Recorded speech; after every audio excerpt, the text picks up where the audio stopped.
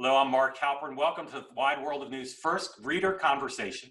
We've gathered people from all over the United States to talk about what's going on in the country, in their communities, with their families. We're really pleased and grateful for having the people who've joined us today join us. We have, as I said, great regional diversity. We have people from all over the United States. I wish we had more racial diversity than we have. Uh, we took people who, who, who emailed in and volunteered to be on. In future conversations, we are going to do what we must do to find a way to have more racial diversity and other forms of diversity in this conversation. But this is a diverse group, as I said, geographically, and it's a diverse group in terms of life experience and professions and attitudes and age.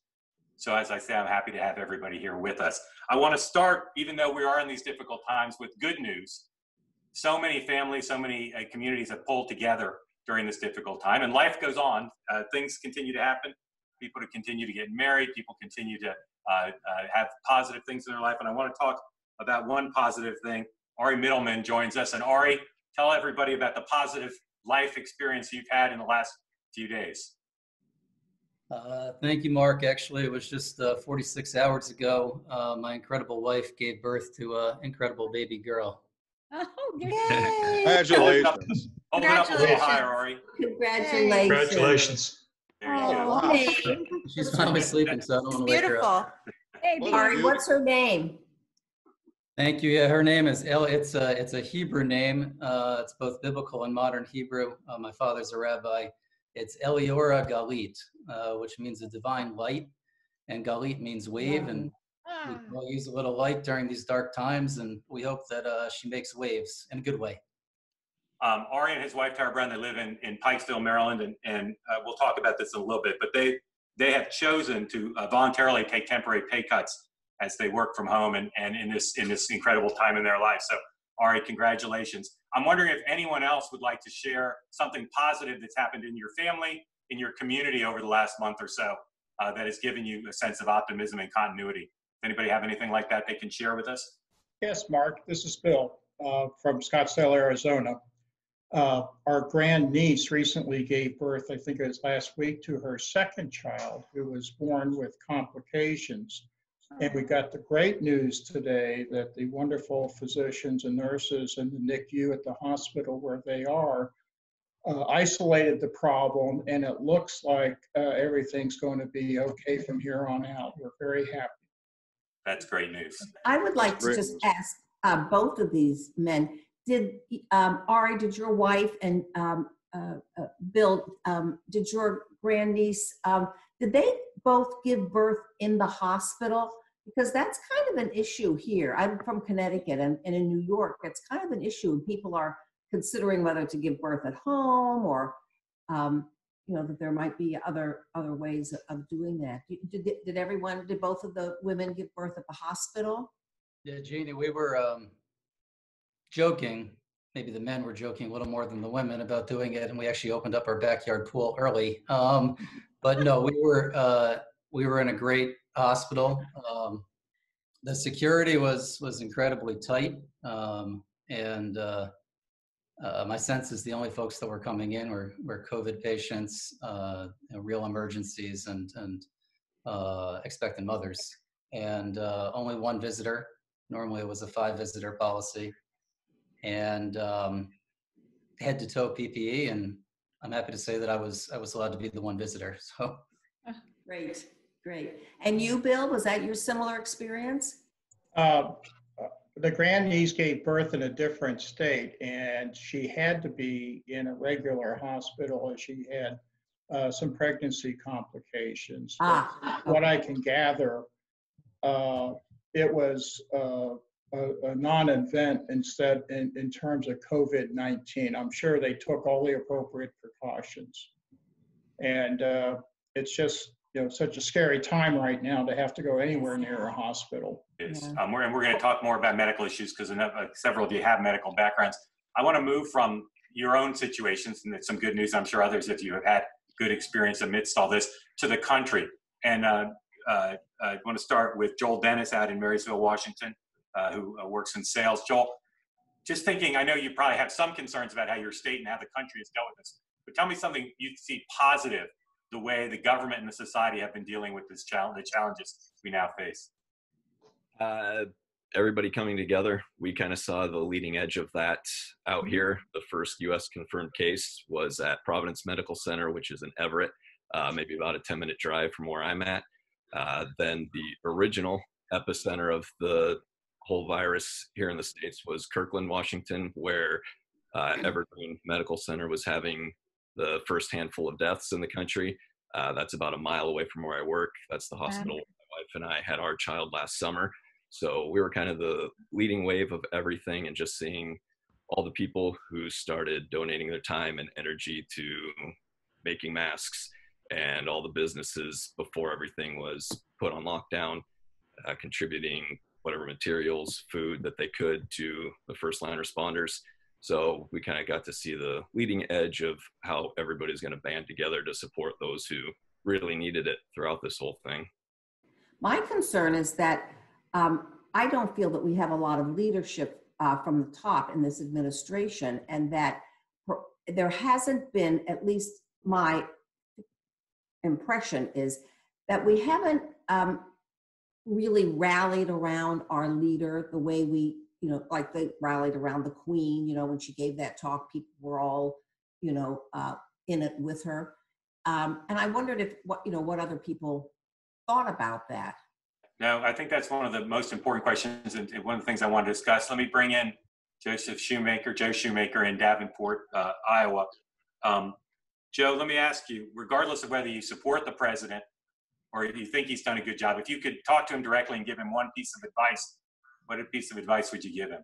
Well, today, uh, with where we're at, um, we can't go back. What for one thing, and you know, re-argue why we're here where we're at today for one thing i think he's got to open the country i think he's got to get congress the leaders together and say we, we've got to get on the same page whether you like me or not uh, i think the adults need to start acting like adults and put americans first because what i keep hearing is there's new yorkers there's people in washington it seems like we're broken up we're not united Mm, we might be working together locally, and I think that's where the where we're going to solve this, right. deal with it. But I, I'm really concerned about the absolute. I don't care what we think and who people think of the president. He is our president. But I but I know that half the country doesn't believe that, and that's a problem.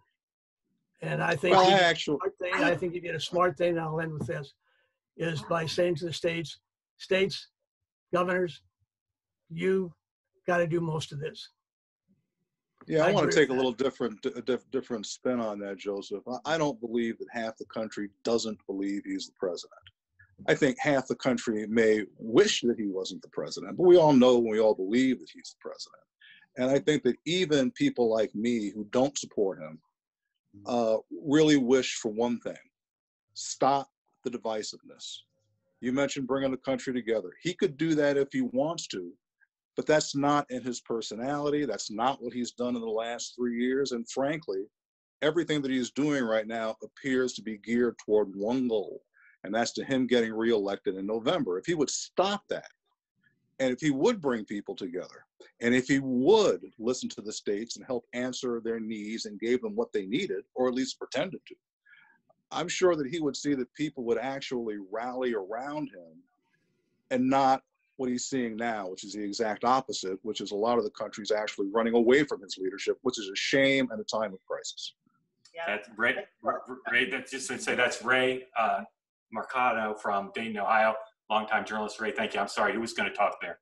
Me. Um, hey, Mark, it's it's Devin. I just wanted to I just wanted to add that um, you know more than anything, what I see, I just try to step back to fifty thousand feet, and I say, you know, it would be good if we get a higher percentage of us working as a team, right, as a government, as U.S. citizens, free. But I think if we just started with, you know, everything's about opinion now, even more than it was, you know, before this crisis. If we could just get to where 30% of the discussions were about factual data, you know, versus it's 90 to 95% the news, the so-called news, right, is really opinion, you know, and you get very few facts. And I think what's really um, the opportunity is this is really a science health problem. So you really have the opportunity to get into some, you know, unemotional, factual discussions Mhm. that if we could That's just push that more between conversations like this and in the media,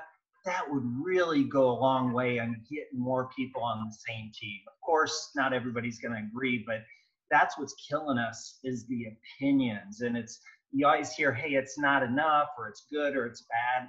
You got to just start talking about, hey, what's the infection rate? What's the number? Let's agree on the facts, and then let's move forward. We're just not able to even agree on the facts, which is an issue. So I just wanted to bring that up. I would agree 100% uh, with Devin. And, you know, where I'm currently sitting, um, well, now without traffic, it's different. But uh, normally it would take me 40 minutes to drive to Pennsylvania, 40 minutes to drive to West Virginia, about an hour to drive to Delaware, an hour to drive to Virginia. I have, I don't have the time of the day to follow each of those state capitals and news. Um, uh, so to the point of empowering governors, I certainly buy that. And I'm not suggesting that we're going and driving to those places, but I know for a fact that people at the hospital that we just left three hours ago uh, commute in uh, from multiple different states, Sure. let alone grocery stores and other places of work, which I do believe should open up, but this needs to be done with some rhyme and reason. Yes, I think it does. I mean, I agree with, with most of what the people have said. You know, Joel, yes, I think people are coming together, um, at least on a local level. Uh, I, oh, I can only speak, you know, for Connecticut. But also, I think that what Joseph was saying, that was that we need to come together more on a national level as well. And um, uh, I, I just don't, I just don't see that happening. It, and if we open up the country, we need to do so, I think, in a very measured way that relies on the data more than just what people might think, um, you know, or just that they want to do. I I want the country to be open. You know, I mean, I, it's very difficult. You know, I'm I live alone. I had all these activities, and you know, I had a whole life built around everything, and it was precipitously ended. And it's a real challenge now. Uh, so of course, I mean, but I don't want it to be open without uh, some real thought and a, and a real plan. The data, I agree. I mean, that's all I pay attention to, and yet I see decisions being made that have nothing to do with the data. Right. I live, I, I live in Iowa. I live in a county that's got 141 people. We're locked down and we've had three deaths and 179 people be infected. It's not, it doesn't seem proportional. It's. And you can go across the states and you start doing the numbers. And one of the hardest numbers to find is how many's been hospitalized. The data is lacking. There's no consistency to the data coming from the states locally. That is going back to the first gentleman.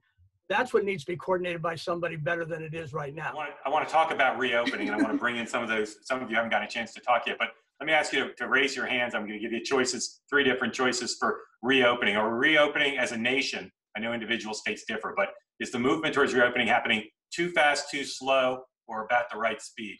So raise your hand when I call out each choice. Who, raise your hand if you think it's happening too fast. All right, and raise your hand if you think it's happening too slow. And raise your hand if you think it's just about right. Okay. Yeah. Um, let me go to Lynn Schmidt in uh, the St. Louis area. Lynn is a nurse, and her husband is a doctor who's had. Lynn and I have talked about this, communicated about extraordinary experiences. Lynn, tell everybody about some of the some of the experiences your husband's having, and then talk about your view of reopening and why you think it may be going a little faster than it should. Sure. So um, my husband is an ER physician. Uh, we live right outside of St. Louis in a more of a rural suburb. Um, and I, I have to say, our governor is actually doing a good job um, with what you were talking about, Joe, um, because Missouri is set up that you have the cities of St. Louis on the east and um, Kansas City on the west, and then it's mostly rural farm country in between. And so, it, there, he, our our governor did talk about how he has to look at different things, different places, and and I appreciated appreciated that. Although we still do have a stay-at-home order for the whole state, but um, I just wanted to share with my husband. So he really is a hero, my husband. Um, He shows up and works the ER and will care for whoever walks through the ER doors. He shows up and um, takes care of patients with COVID and without COVID 19. He shows up and works despite the shortage of PPE. He shows up and has to triage the patients about who can have a test and who can't because there, there just aren't enough testing materials available. He shows up and cares for patients despite it being a threat to his daughter who is immunocompromised.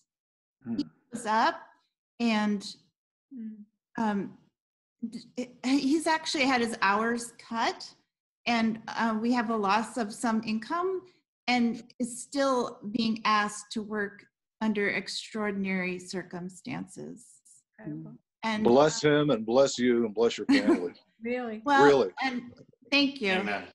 But um, he showed up yesterday when a patient, uh, 60 years old, came in in cardiac arrest.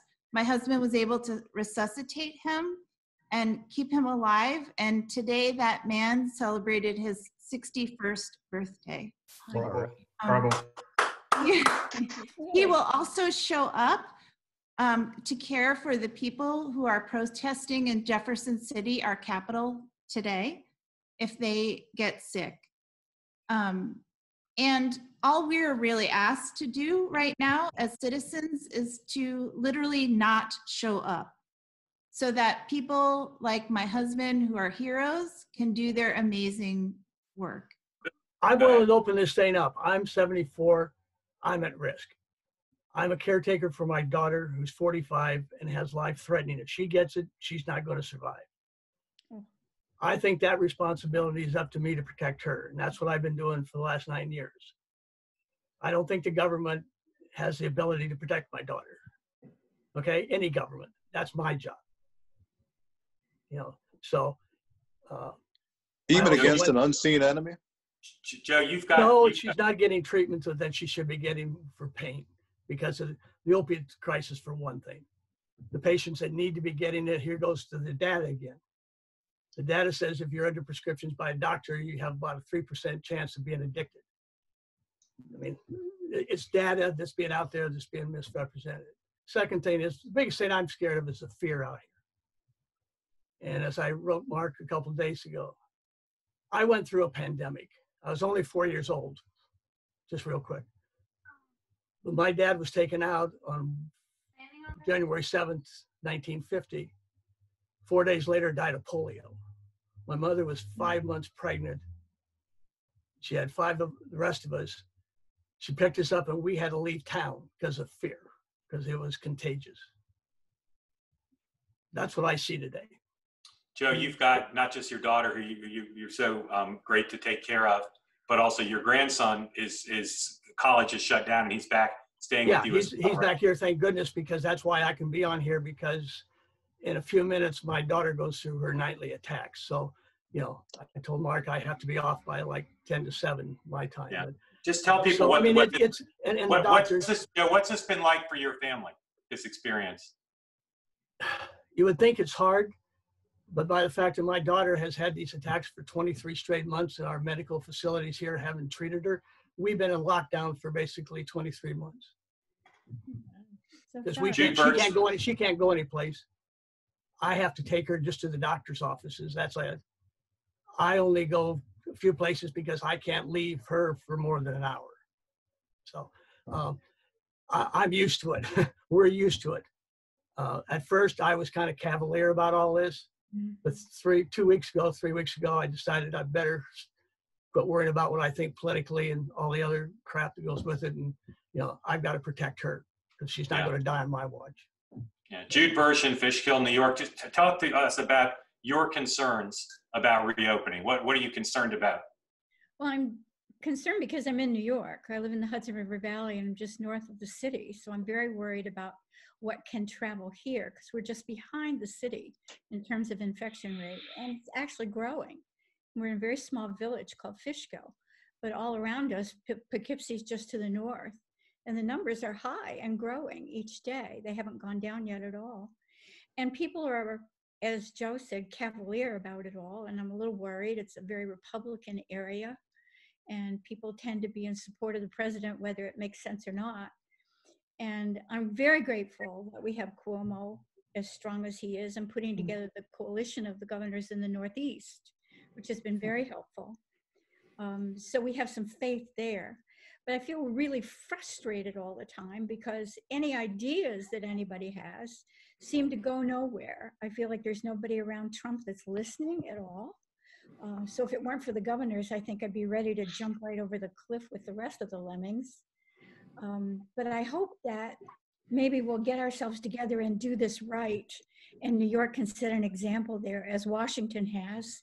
Joel, I think Inslee has done a marvelous job, and I love listening to what Newsom does in California. Um, but we're very isolated. Dave and I live in a community of, of families, a lot of older people, but not exclusively. And again, I see everybody kind of cavalierly breaking the rules. And I'm afraid as the areas that open that shouldn't would cause um, a greater number of people here to do the same. I'm very worried about that. Well, one, one thing uh, here in uh, Scottsdale, Arizona, uh, we're, we are spread out. So the social distancing um, on a daily basis when you're out and about is uh, walking or whatever is very easy. I haven't seen people, the few times you go out shopping, uh, doing anything that I would say was hazardous. I think people are cooperating here.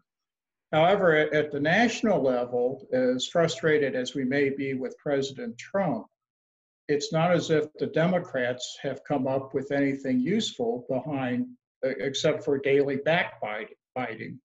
Uh, you just saw the Senate finally voted on the latest uh, relief package, uh, and they're going to be throwing barbs at each other uh, leading up, up to the next relief package.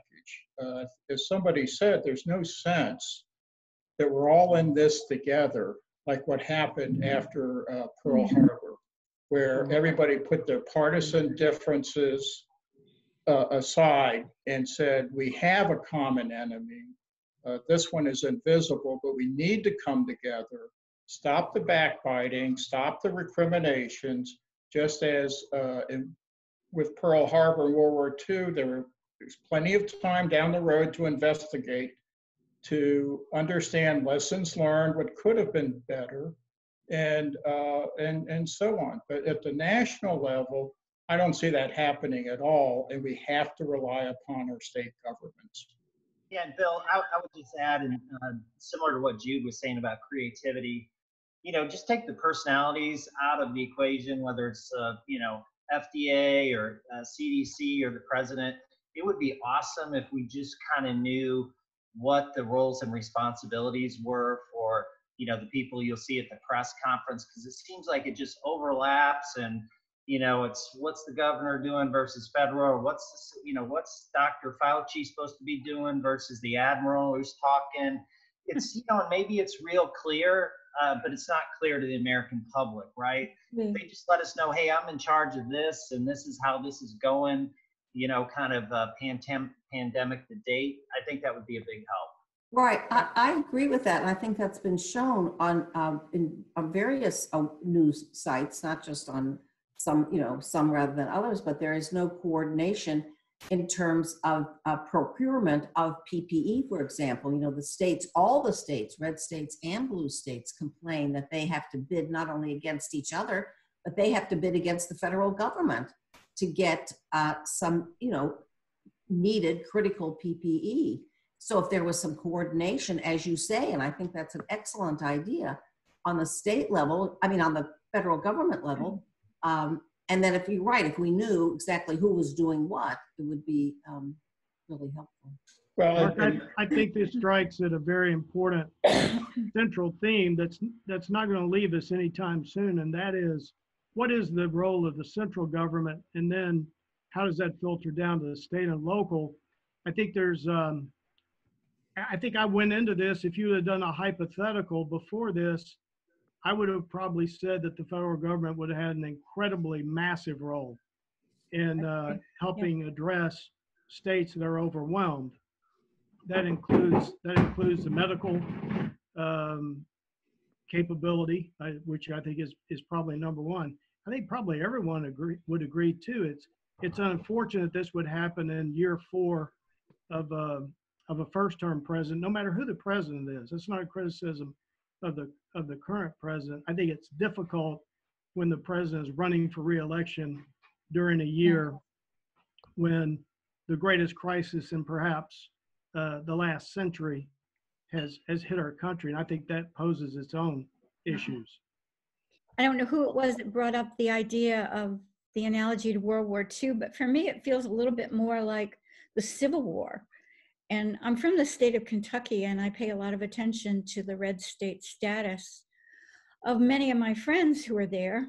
And I feel like that battle somehow or another has to play out rather than just calling for unity.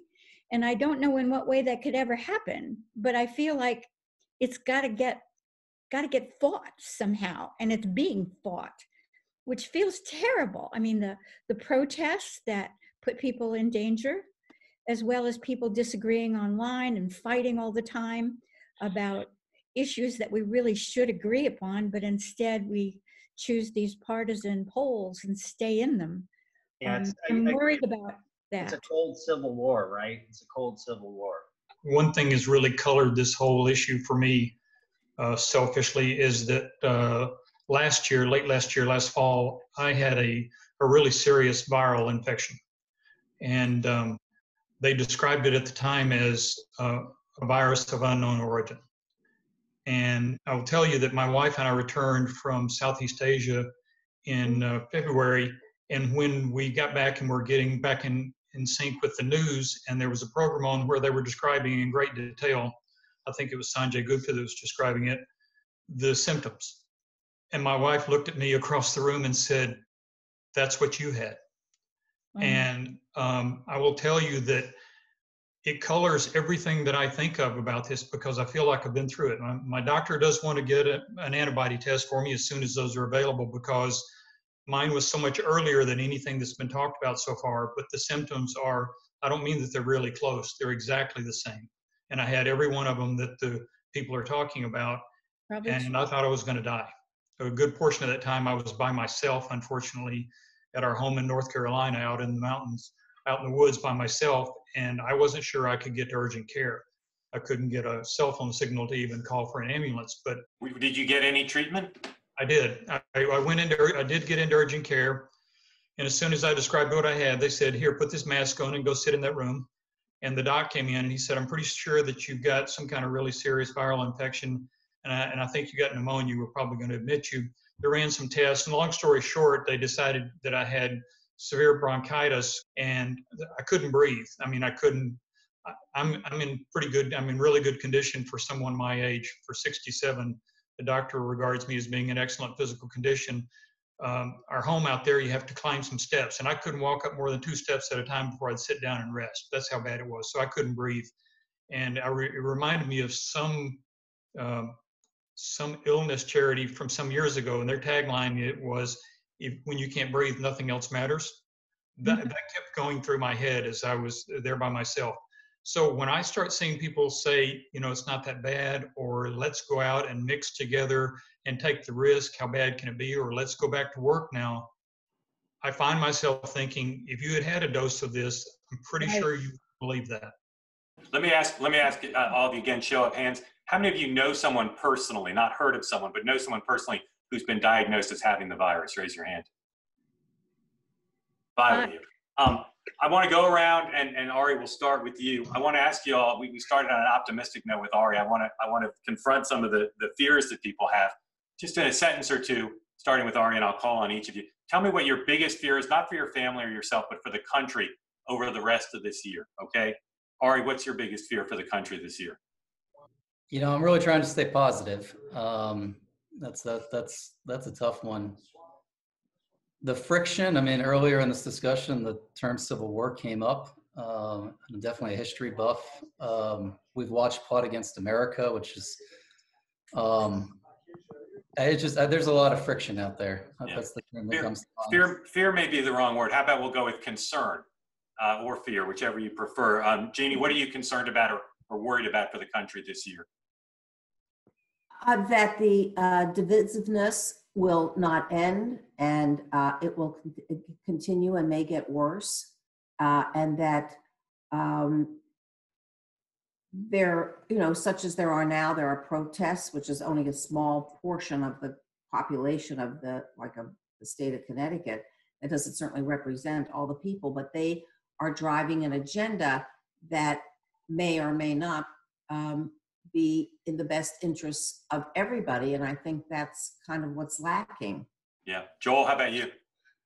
Uh, my big concern is obviously at the forefront that with restrictions beginning to be lifted here throughout the next couple of weeks in some states, that we find ourselves in the fall having to go right back to facing more lockdowns. And then also what that does for the election. You know, on the fringe, there's talks about the postal service here in the state of Washington, where you know vote by mail only. So it's a big year for the election, and if the country's facing another form of a lockdown here in a few months because everything got adjusted too soon, where does that leave us heading into a pretty important uh, time of the year in November? Yeah. Ray, how about you? Biggest worry, biggest concern? Uh, that data and facts don't matter. Data, people can manipulate data any way they want. And in this polarized society, even though you can put a fact in front of somebody, it doesn't matter because it's always colored by what they believe. So Hmm. facts and data, uh, as much as I would love to believe that that's going to drive our thinking and how we reopen the country, it's not. It's going to be who can best manipulate that information to get their message out in the way they want. And I think we know who that is. Devin, I want to ask you, I just want to tell people, you've been furloughed, you're dealing with a lot personally, but what's your worry, your concern for the country? Yeah, so I, I would, um, and I would, if you would have called on me first, I would have said what several of the other people say. It's, we need to work together. We have such great resources as a, you know, American team, citizens, government, the part partisanship, that you see it going right down the, the red, blue, uh, you know, tracks. And it, it's just a shame, right? Because we're just not going to perform as well as we could um, as a society. And so that's by far my biggest fear. None of you so far that, that I've asked have, have mentioned the economy. And I know a lot of people are worried about this. Anybody here feel that the biggest concern that you have about the country this year is that the economy, the, the, the loss of jobs, the, the, the businesses going away, that that is, that that's the biggest problem we face because of all the hardship that'll cause? Yes, Mm. I do. I do, Mark. I'm very worried about Worried. my three kids who are in that age group that we depend on for saving the world. And I'm worried one has lost a job in San Francisco. And then I have a, a daughter here in New York who has her own company waiting for that small business loan. And I'm very worried about not just the fact that they might lose that work in the future, but what happens to their spirit in that process. And as we start to recover, if we do, they're harmed and they're harmed in a way that we all haven't had to suffer yet. And um, we really do count on them for the future. So I'm hoping that being an older person myself, that one of the things that I can do is contribute to their strength in any way that I know how during this time, because it's very, very hard. So they need strong shoulders and people with some experience to keep plugging in spite of the difficulty. Yeah, Jeannie, you wanted to talk about the economy? Sure, I'd love to talk about the economy. I, I, mean, I want to know how the governor of Georgia is opening up the economy and letting people go into bowling alleys. When did bowling alleys become an essential service? I mean, I think, I mean, it's like a joke. If there's any place where you could possibly get the virus, it would be in the bowling alley between the shoes and putting your fingers in the bowling ball. I mean, right there, you have like, a, you know, just a, a horrible situation, I would like to say. And then, And I- and then you go out for your massage. And that right, yes, exactly, and have your nails done. Always, you know, critical essential services. But Well, I I- think, that, I you know, think- Jude, Jude's point, and I and I really agree with her that uh, my children uh, and subsequently my grandchildren are the ones who are really going to suffer from this. My children, you know, basically now are like second grade dropouts or fifth grade dropouts because they're a third of their school year is over. But um, you know, their parents are. Um, you know, not everyone can work from home, and they are too suffering and will continue to suffer from the long-term effects of this uh, economic uh, collapse we've had. Never mind, my, uh, you know, I don't want to make this all about me, but I mean, you know, I have an IRA that is like suddenly just tanked, and now I, you know, am unsure uh, uh, as as an older person whether I'll really, you know, will outlive my money. Will I have enough money to live on? I think one thing missing from the debate about reopening the country, uh, presumably it will be slowly and measured, is that I don't see that anyone will be forced to go out of their house to engage in any activity that they're uncomfortable with. And there was a solution proposed here in Arizona by a, uh, a columnist that people who are 65 and older simply have to stay in their house and let the economy reopen. And I had another conversation where my thought with the people who went out on the Jacksonville beaches, they did that on their own free will. No one forced them to go out there. And if uh, in three or four weeks Jacksonville becomes a hotspot, that will they will have done a public service in that they'll know that that area is not safe. I hate to be that brutal. If, on the other hand, in three to four weeks, there's no upshoot in Jacksonville, that should give us some encouragement that uh, areas are going to be safe. The only way to know if you're comfortable with the ocean water is to start with your toe. Anybody look, anybody uh, think you go to a restaurant this year? Yes. Yes. Yeah, I'd go. Mark, Yeah. Mark, my concern with all this is we don't do nuance very well in this country. Um, because I think the real answer is between the two extremes. If anyone thinks that we can stay in quarantine for much more time than we are right now, uh, this is going to have catastrophic results on our economy. It's going to affect everyone on this screen and everyone uh, viewing this. I think that's a fact. No one can model it because we've never had anything like this in the modern era. What we are going to need to do is intelligently reopen, intelligently reopen. And that that involves a laundry list of assets and capability that no one thinks that we have right now. But hey, it's the 50 states of America. It's not a monolithic country. The diversity of the country strikes along a lot of different lines and there's going to you know i live in texas. I'm originally from tennessee and i'm in myrtle beach south carolina with my wife's family in quarantine here. It's a different view of the world. It's not necessarily right or wrong but it's a different view.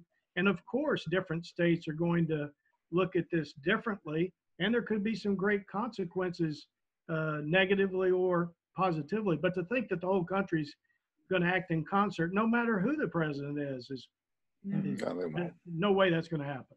No. That chart that you put in the newsletter today, Mark, that RT chart was really good for looking at how we're going to do it and where we have to be in order to move forward. That's excellent data, Ray. Yeah. Yeah. just kind of on a, I'm in Iowa. We have the epicenter right now of three of the largest packing plants in the world in the country shut down. That's your food. Mhm. Same thing's going on in Nebraska. Same thing's going on in Minnesota. Same thing's going on in Illinois. This is your pork, your beef, your chicken. 50%, 30% of our beef is imported. From where? Where is most of our processed food? Out of this country. Can I People do, better uh, start realizing, like the gentleman just said, if we don't open this thing up proportionally, and I like to, the gentleman from, those of us that are older, we need to take responsibility and do our job and stay out of the public square as much as we possibly can and let the young people come in. It's their world, the X's, the millennials, and the Z's. They're going to make the decision of where this country goes forward, not us. And it's time we step aside. I'm a generational person. I believe in generations, and it's time for us to basically do the snagglepuss and exit at stage left. Um, I want to close by um, thanking you all for making time to do it and for engaging in this conversation. I know there are so many topics we didn't get to, and a lot of you had stories that, that I would have liked to have gotten to, but we've run out of time, but I, I appreciate you having this conversation. We'll have more of them. Hopefully, bring some of you back, but also some other readers who wanted to be involved this time but didn't get a chance. But I want to thank you all. Thank your families. Uh, congratulate um, Ari and his wife again. for, um, Congratulations, for your Ari. new child. Congratulations, Ari. Bless you, Lynn, and your family again. Thank you very much, everybody. It was a pleasure. I'm Mark Halperin. We'll see you soon on Wide World of News, both uh, online and uh, in your email inbox. Thanks for watching.